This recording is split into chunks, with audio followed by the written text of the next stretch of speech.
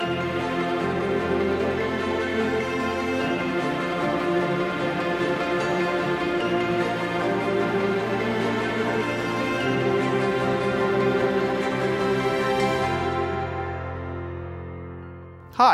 I'm Will Doerner, a supervisor economist at the Federal Housing Finance Agency.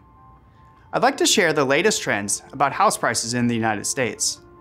Today, we release the House Price Index report and data for the third quarter of 2021. The third quarter of 2021 saw the largest annual gain in the history of our house price index. House prices rose 18.5% from the year prior and 4.2% over the quarter. Why have we seen such persistent appreciation?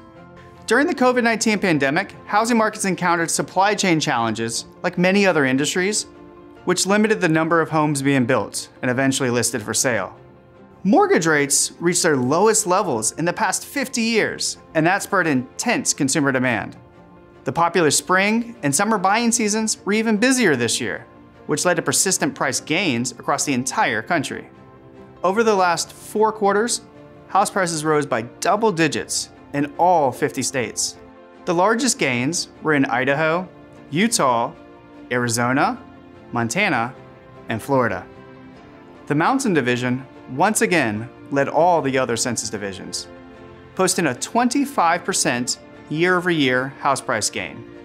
The region has either been in the first or second spot each quarter for the last five years. Strong appreciation has been common across the whole country. Annual gains have increased in every metro area as well. At a national level, real estate prices have risen exceptionally fast.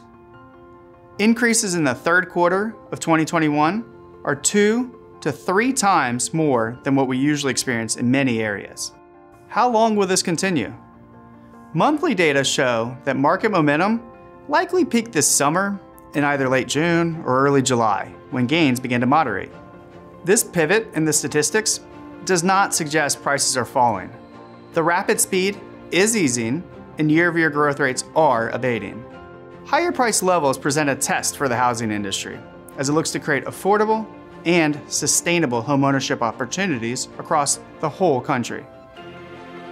To see the full report, please visit fhfa.gov/hpi. You can also explore the latest trends using interactive maps and tools like the HPI calculator. The FHFA House Price Index quarterly video series will return in February with data through the end of 2021. For FHFA, I'm Will Doerner. Thanks for watching.